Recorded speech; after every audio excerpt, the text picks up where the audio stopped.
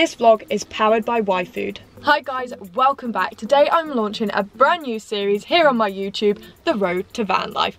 This series will be your go-to for everything you need to know about starting your van life journey. I'm really excited about launching this series as I love sharing van life tips with you all and helping you achieve your dream life too. Each episode we will be diving deep into one topic at a time, where we will chat about topics like setting yourself up as a digital nomad, finding a place to park up, designing your dream layout and the horrid parts of van life too, like choosing a toilet suitable for you and where to put your waste. We will also get to meet so many cool van lifers along the way and I can't wait. And in today's episode, we'll be talking about how you find yourself an off-grid park up. I thought I'd share a few of my top tips when it comes to finding an off-grid park up. Where will you sleep was the biggest question asked by my family and friends when I first announced I wanted to roam the world in a van. How to find a park up is also the biggest question asked by those looking to start van life or looking to start off-grid camping. So what I'm going to do is break it all down and go over what tools I use to find park ups. We will hunt down our very own park ups together and I'll also give you some tips and general rules of thumb when it comes to parking up for the day or night. And finally, I asked you guys on here and over on Instagram at Nic Roams, go give me a follow,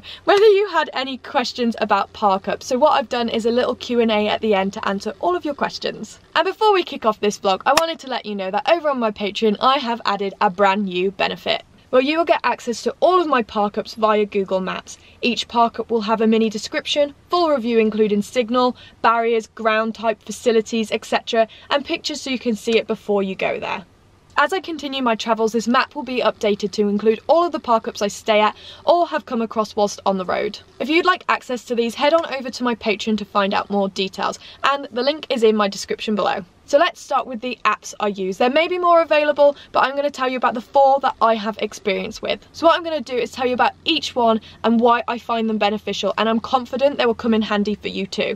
Number one, Park4Night. This is my go-to app for finding off-grid park-ups around the world and it's the one I recommend to all. It is a database of park-ups presented on a map similarly to Google Maps. This app allows the community to add in park-ups they have found, including pictures, and for the park-ups to be reviewed by others by rating it out of 5, leaving a comment, and even adding more pictures.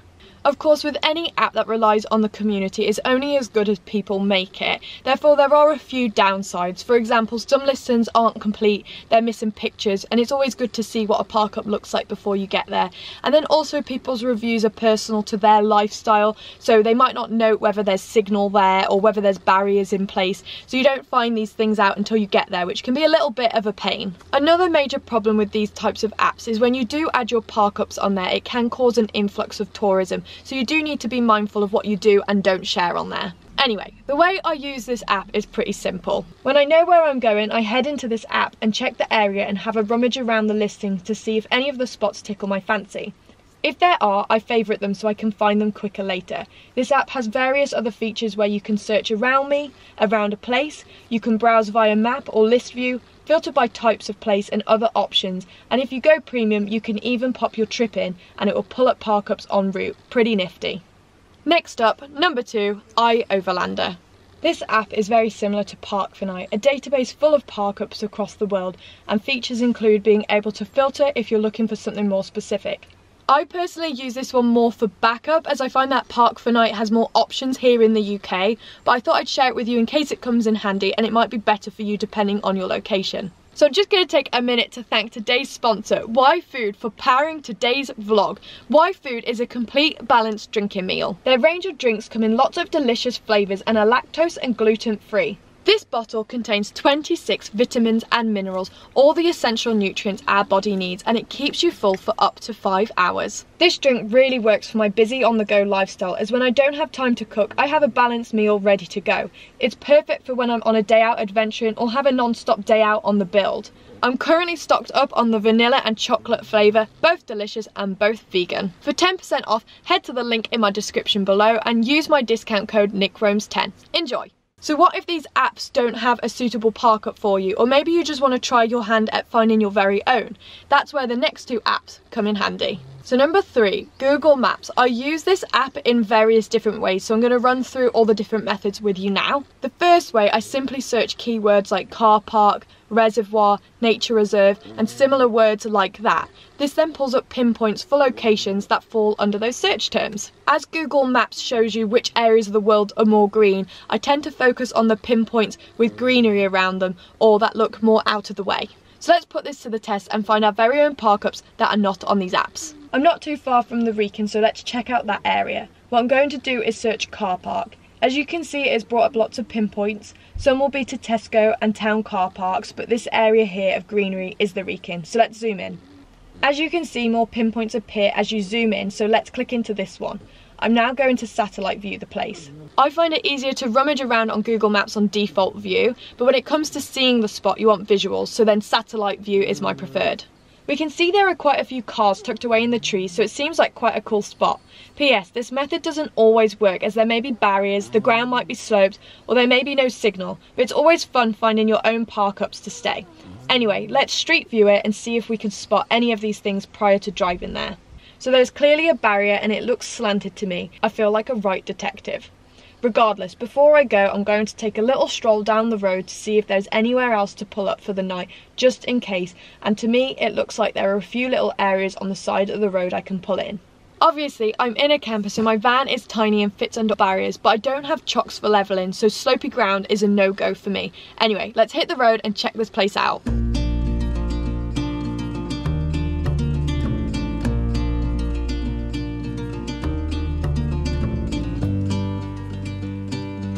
So this is probably the tightest barrier I've ever seen. So I'm not actually gonna risk it myself. Look at that.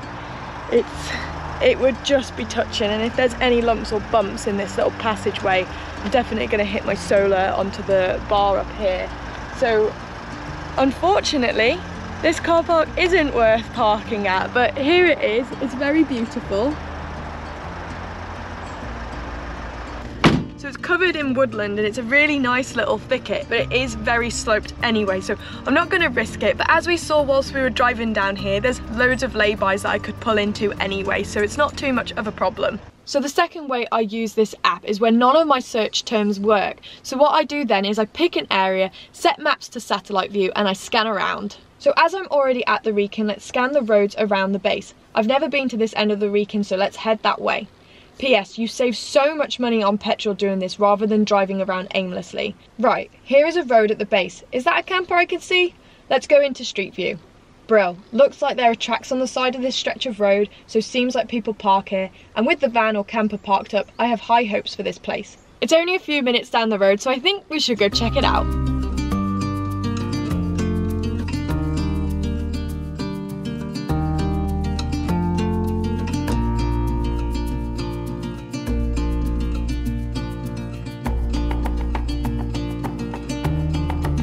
I've just pulled into the park that we found on Google Maps and it is looking bliss. It is much quieter here compared to the other side of the Wrekin, which is more of a tourist hotspot. So yeah, this is where I've parked up. You can see that I've just slotted in nicely onto the track there, which does look like it probably gets muddy in the winter, so more of a spring summer spot. And also I checked my phone and I've got signal here, so that's a bonus because again, I don't really get that on the other side of the Wrekin. So I think I've found myself a nice new park up.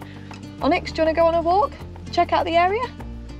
So the final way I use Google Maps, yes, this app is extremely handy, is by saving all of my found park ups on there. Although Google Maps doesn't have a database of park ups, I find it the best app to use when creating your own personalised map. Separating out the spots you love from the mass amount of listings over on Park4Night and similar apps comes in handy, especially when you want to return to the area or if you want to share it with family and friends. I personally use this app because the features on Google Maps are awesome, of course. You can create your own map with layers, for example, a map of England with counties as different layers. You can colour code and set a specific icon for each place, add notes and images to save locations too. Number 4. What three words? This app is growing in popularity and I've mentioned it before in regards to its safety functionalities in my 12 essential security tips for van lifers vlog. If you haven't seen it, make sure to check it out in the card above. However, it also doubles up as an awesome app to save park ups whilst on the move. Again, this app comes in a map view, but the reason why I use this app as well is because it gives every one square metre a unique name in the form of three words, which makes it a much more accurate mapping tool compared to Google Maps.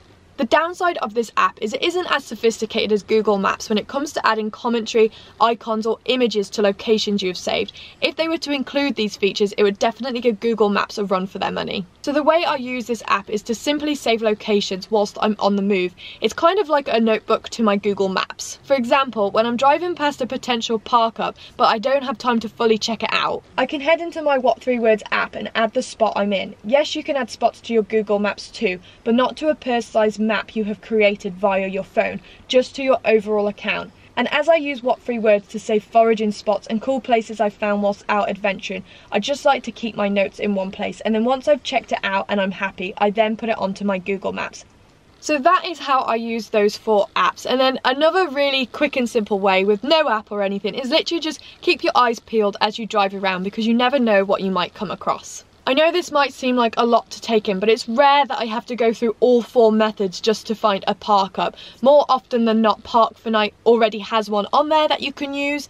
And also, you just come across so many as you're driving around, so you're really not going to be short for park ups. And also to note, it is rare, but it can happen that you end up driving around for ages to find a park up. This usually happens when you've got no signal. So now let's move on to some tips when it comes to parking up and some general rules of thumb when it comes to off-grid camping. So tips first, and I know some of them will cross over with tips I've given to you before, but let's get cracking. Number one, if solo, try to make sure you have signal when parking up for the night. Number two, park on flat ground unless you have chocks. It's not fun cooking in the van on a slant. Number three, if it's windy, make sure you face head on to the wind. Thank me later. Number four, if you have solar, make sure you park in a sunny spot to utilize those rays. Number five, head to your park up before sunset. There is nothing worse than trying to find a park up in the dark. And now, moving on to some general rules of thumb that I think are really important for van lifers or people looking to off-grid camp to know. No matter what, leave no trace or leave the place better. If there are already a few campers in a spot, keep on going. It's important to save some space for the locals and for other people to use the car park too. Plus, we don't want any no overnight camping signs or barriers put in place. Generally, two nights is the maximum to stay in one spot. Geotagging. It's lovely to share your park-ups with everyone, but just be mindful as to whether the place can handle an influx of tourism, as mentioned before, and finally, leave some space between your vehicles where possible. I know some car parks have designated motorhome bays or the car park's really small or there's a small area of flat ground so it's unavoidable. But where you can avoid it, just give each other a little bit of privacy. Finally, I asked you guys on here and over on Instagram if you had any park up specific questions. So I thought I'd do a little Q&A to answer all the random topics and scenarios that may pop up as you're off-grid camping. Now let's dive right on in how would you approach parking in a more crowded slash residential area? So I'm going to split that up and class crowded as city and residential as a like an estate. So in terms of city, I've camped out in London for three months when I was working there and I had no issues. Obviously it's very busy, they're very used to lots of people and lots of vehicles, so to be honest, I feel like you kind of go unnoticed. But when it comes to residential parking, which again I experienced in London as not all of it is city, um, you do have to be a little bit more mindful. So there were times I found myself parking on street, but what I aim to do is have my van next to like someone's garden wall or opposite some greenery, or I'd look for locations that were as rural as you can get in London because there are actually quite a lot of green spaces that you can go to and I actually have a blog post on park-ups in London I never talk about blog posts because I haven't written one in probably like two years but if you wanted to check that out you can find that in the description below. Have you found it harder since COVID and van life kicking off? COVID, no. To be honest, I felt like the only one on the road, so I had no issues with that. In terms of van life taking off, yes, I have seen quite a few more vans on the road since 2018, um, but I'm yet to be at a park up where it's absolutely crowded of van lifers, motorhomers, campers, etc. How much planning ahead do you do? To be honest, I don't plan that far ahead, but when I know I'm going to a certain area, for example, I recently went to North Wales, I will go on to Park4Night and check out the area and favourite any spots that I think are worth checking out as a destination too. Otherwise, I tend to look on the day, so I don't really spend that much time um, planning my park ups. do you bother finding flat ground or do you park anywhere? Yes, 99% of the time I look for flat ground and 99% of the time I come across flat ground. So I've been very lucky in that respect. But there are times that I would sacrifice not having flat ground is when you find just the most beautiful location. Um, and to be honest, I try to then have my van slanting like this. So that would be my head and that would be my legs. So then that way I'm not like rolling to one side when going to bed. Is being near or off a main road something you want or want to avoid? I think this really depends on what you want out of a park up. If you're looking for convenience because you want to go into a town or a city the next day or it's en route, then I don't mind being on a lay-by or just off a main road. It doesn't bother me. Obviously, you just have to bear in mind that from usually 6am people start their commute. So it's just really up to you. I guess you're in a van so you can choose where the hell you want to park up. Have you had any issues with locals or police? I am proud to say that I have zero major issues with locals or police. Um, locals, only the other day I bumped into one in Shrewsbury and she was really happy for me to be in my van and she was excited for all my travels and things like that so that was really nice because I feel like I built up a bit of a persona that all locals were going to be rude to me if they came across me sleeping near their house. Um, so yeah that was nice. And in terms of police um, I've had two instances where police have knocked on my van but both ended up um, with them just wishing me a good night. So yeah haven't really had any bad problems with police or locals. How do you decide if a park up is safe if you don't know the area so that is where Park4Night comes in handy as you can leave reviews on the park up so you can see what other people think of the place before you go. Just remember to take everyone's reviews with a pinch of salt as they're all based on their own wants and needs. Um, and then Obviously, if I found the park up by myself, then I have no idea. But I just kind of rely on gut feeling. So I started van life in 2018 and I've been on the road for two years because I had a break in between.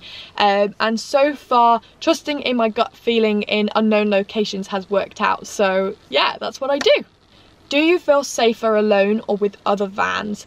I get overall I always feel safe because I would never park up anywhere that I didn't. I would always be prepared to leave if I was worried about a park up. But yes, I do feel much safer when there are other vans around because if something was to happen, I feel like you've got backup. Are the good park4night spots often busy? To be honest, I'm not too sure because I avoid peak destinations during peak periods. And last summer it was COVID so there was hardly anyone on the road. But from Instagram and seeing other people's stories it does look like there are some hotspots that have been heaving. Whether they're park4night spots or not I don't know. But that's why we should be mindful when it comes to geotagging our park ups. Anyway guys I'm going to call that a wrap on today's vlog. I hope this has been super helpful for you. And make sure to keep tuned for more episodes in this brand new series The Road to Van Life which will be your go-to for learning everything you need to when it comes to starting your van life journey.